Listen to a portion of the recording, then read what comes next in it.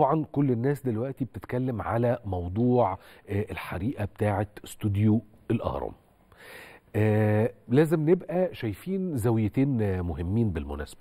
الزاوية الأولى بالتأكيد هي الناس. الناس أصحاب الشقق السكان العمارات المحيطة باستوديو الأهرام والمنطقة بتاعت شارع خاتم المرسلين وما إلى ذلك. والحاجة الثانية هي الاستوديو نفسه بما يحويه من معدات وأجهزة وديكورات و و و و و. كويس؟ دي خسائر ودي خسائر إحنا اللي يهمنا بالتأكيد في الأولوية الأولى والقصوى هي البني آدمين بيوت الناس آه، شققهم. دي أماكن لحياتهم. فإحنا مش مختلفين على ده على الإطلاق. ولا يظن أي حد ابدا تحت أي ظرف من الظروف إن الدولة هتتخلى عن الناس بل بالعكس.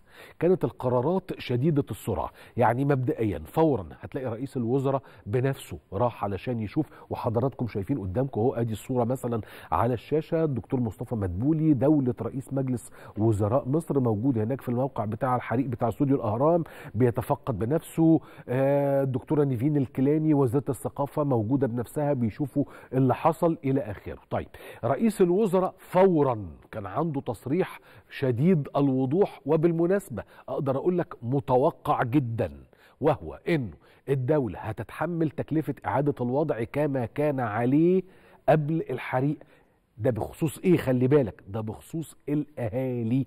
ورئيس الوزراء قال نصا قال الأهالي لا ذنب لهم. طيب هنعمل إيه يا دكتور مصطفى؟ دكتور مصطفى قال هيتم صرف مبلغ فوري 15000 جنيه لكل أسرة مضارة. طيب ال 15000 جنيه دول دول دفعة إيجارية بديلة مقدمة مؤقتة لحد ما الدولة هتقوم بإصلاح العمارات والوحدات وإعادتها إلى أصلها كأنها لسه جاية لسه مبنية حالا لسه متشطبة دلوقتي. يعني مفيش حد بإذن الله سبحانه وتعالى من الممكن أن يتضرر الدولة تتحمل كل شيء.